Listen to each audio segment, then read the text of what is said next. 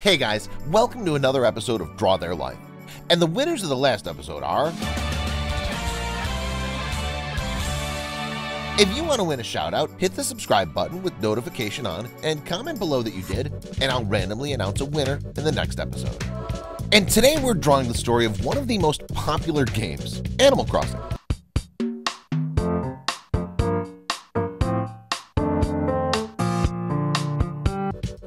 Video game developed and published by Nintendo.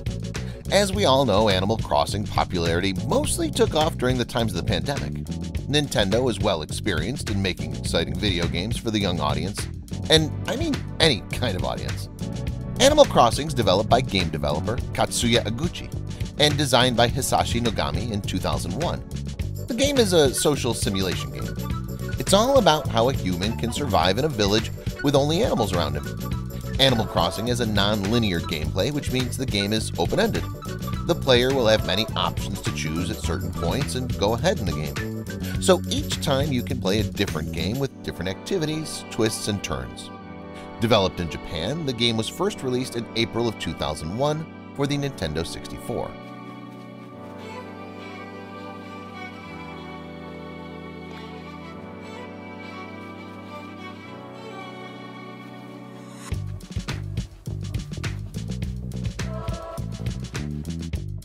So for somebody who wants to play the game, he'll be given human characteristics to choose from. Animal Crossing is very famous for its customization. One can choose a character as per their own real characteristics, gender, appearance, and everything.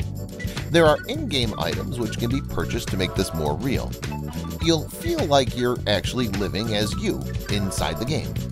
So this protagonist character is surrounded by many anthropomorphic animals, player shown is living in a village along with these animals and doing activities.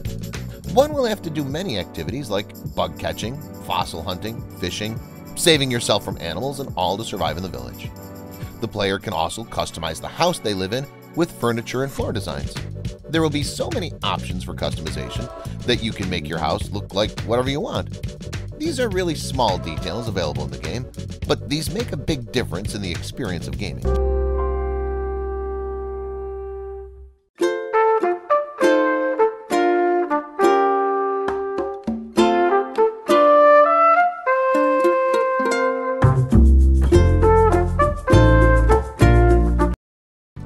Can have a maximum of four human players.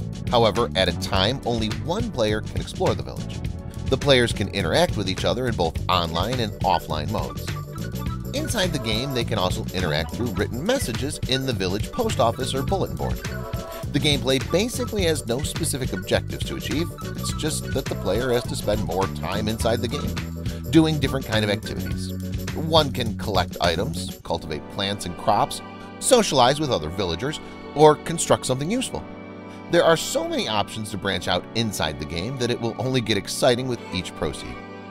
Another amazing feature of the game is that it uses the video game console's internal clock and calendar and syncs the game with that.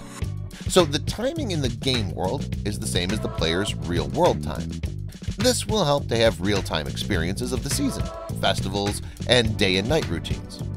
This feature may seem silly and unimportant, but this is something which is told as the most amazing part of the game by some fans. When the passage of time inside the game and in our real world is the same, sometimes we might forget that we're in a game.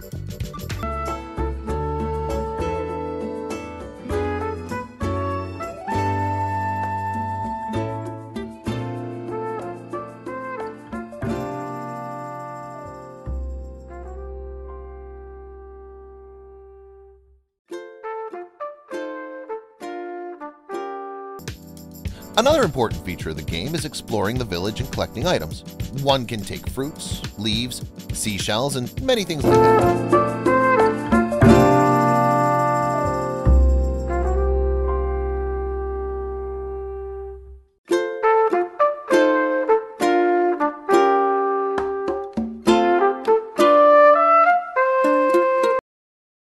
These items can be sold inside the game for bells.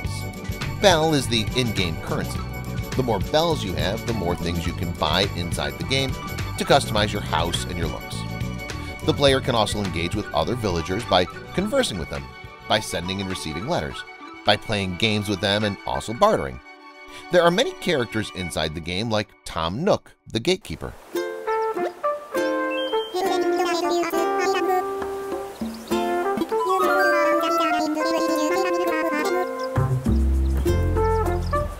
Timmy and Tommy. As per the player's actions and decisions taken inside the game, things can change in the village. People may move in or out. The player can also travel to other villages and towns as part of the gameplay. For the most part of it, the game will give a feeling of spontaneity and surprises. Obviously, the first part of the Animal Crossing was well received in Japan. Based on such a huge commercial success they got in Japan, Nintendo decided to enhance the game for the other parts of the world.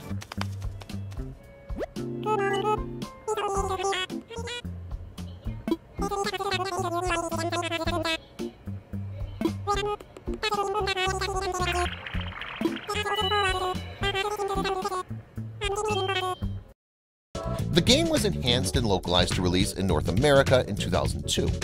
In 2003, it was released in Australia, and in 2004, the same got released in Europe. 60 million units of this first part of the series were sold worldwide. With no doubt, we can say that the first version was a huge success, almost all over the world. Unlike many other games, the Animal Crossing was critically acclaimed as well, along with its financial success. This increased the brand value of the game. Nintendo had all the reasons to come forward with the next part and make this into a game series. And that's what they did.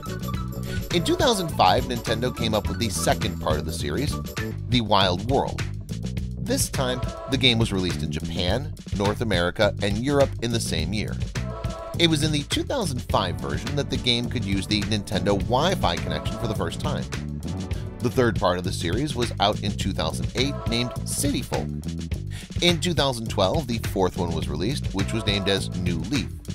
And the latest version of the game was released in 2020, which is the Animal Crossing New Horizons.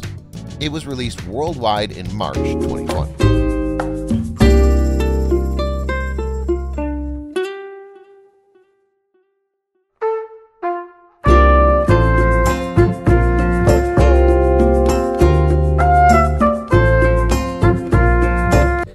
Crossing already had a reputation of being an awesome game.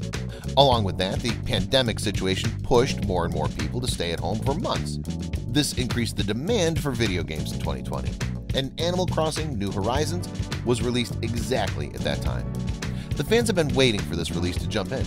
With all these helping factors, the game became the first console game to reach the sales number of 5 million digital copies sold within a month. Game even received the Best Family Game Award in the Game Awards 2020. From March 2020 till date, 22 million copies of the game have been sold already. As per the Nintendo sales officials, the sales momentum has not gone down yet. Animal Crossing gives a kind of freedom to the players. It lets us decide when we want to do things and how to do it. There's always an excitement and leisure in the game. At the same time, there's no pressure to achieve goals or levels. Basically, this game is a proper mix of relaxation and enthusiasm. Especially in 2020, Animal Crossing has made so many new fans for itself. It's because the game has provided the perfect sensations for those who are stuck inside their homes. There's a feeling of community, there's uncertainty, there's decision-making, there's freedom of choices, and there's fun. What else do we need from a game? So there guys, that was the Draw My Life video. If you want more awesome Draw My Life videos like this, hit that subscribe button with notifications on, and I will see you guys in the next episode. Till then,